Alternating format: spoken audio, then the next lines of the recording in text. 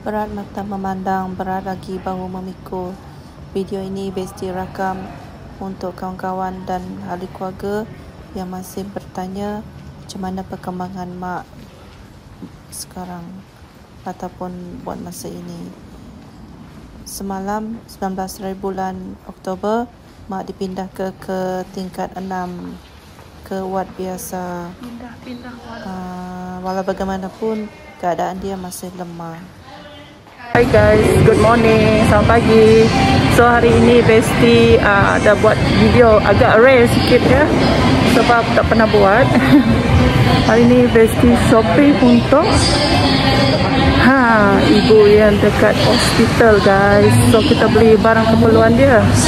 Okay, jom ikut Besti.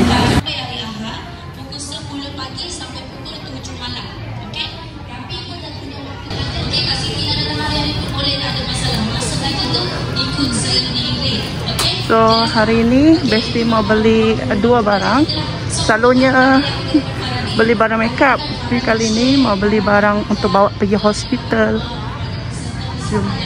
So mau beli uh, wipes ya, wipes dan juga sarung tangan. Jom kita cari. Guys, tadi Besti beli uh, face mask dengan wipe, baby wipes ya. So guys, kita beli uh, tangan ya. Lepas. Latex punya. So sekarang kita berada di uh, area Pampers guys. So kita mau cari Pampers untuk orang dewasa ya. Sebab ibu belum pandai lagi mau pergi uh, toilet. So kita cari Pampers orang dewasa. Kita tahu ada ke tidak dekat imat ni. Kita try cari, okay? Macam budak-budak punya semua. Tak apa, kita cuba cari. Okay guys, kita sudah jumpa ya Pampers untuk orang dewasa. So, Besti pun tak berapa pandai pilih. Cuma mau tahu saiz dia sajalah. Saiz besar L, XL. Ah, okay. Okay, jom. Kita tengok.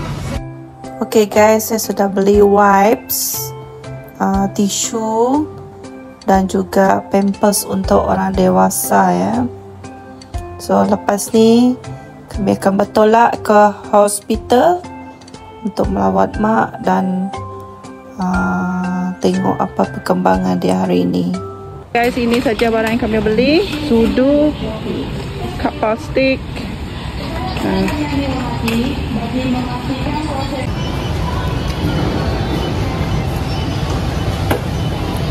Guys, kami sudah berada di hospital. Tengok barang banyak guys.